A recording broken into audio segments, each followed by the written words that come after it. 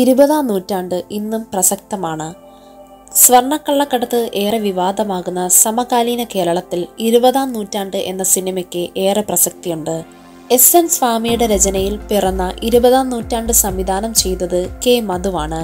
അധോലോകവും കള്ളക്കടത്തും വിഷയമാകുന്ന സിനിമയിൽ അധോലോക നായകൻ സാധാരണക്കാരായ ജനങ്ങൾക്ക് പ്രിയങ്കരനാകുന്നതും ഒക്കെ കടന്നു വരുന്നുണ്ട് സൂപ്പർ താരം മോഹൻലാൽ സിനിമയിൽ സാഗർ ഏലിയസ് ജാക്കി എന്ന കേന്ദ്ര കഥാപാത്രമായി എത്തിയപ്പോൾ മറ്റൊരു സൂപ്പർ താരം സുരേഷ് ഗോപി ശേഖരൻകുട്ടി എന്ന വില്ലൻ കഥാപാത്രമായി മാധ്യമപ്രവർത്തക അശ്വതിയായി അംബികയും വേഷമിട്ടു.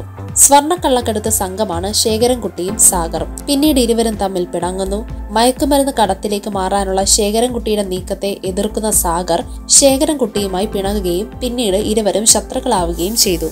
കേരളത്തിലെ രാഷ്ട്രീയവും കള്ളക്കടത്ത് സംഘവും തമ്മിലുള്ള ബന്ധം പുറത്തു കൊണ്ടുവരുന്നതിനാണ് മാധ്യമപ്രവർത്തക അശ്വതിയുടെ രംഗപ്രവേശം.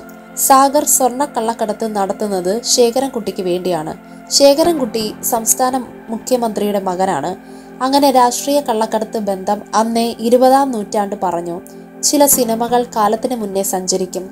ചില സിനിമകൾ സമൂഹത്തെ വരച്ചു കാട്ടും ചില സിനിമകൾ സമൂഹത്തിൽ നിരവധി ചോദ്യങ്ങൾ അവശേഷിപ്പിക്കുകയും ചെയ്യും. എന്തായാലും ഒരു വിനോദ ഉപാധിയിൽ നിന്ന് മാറി ചില സിനിമകൾ ഏറെ ചിന്തിപ്പിക്കുന്നു എന്ന യാഥാർത്ഥ്യം അംഗീകരിച്ചേ മതിയാകൂ.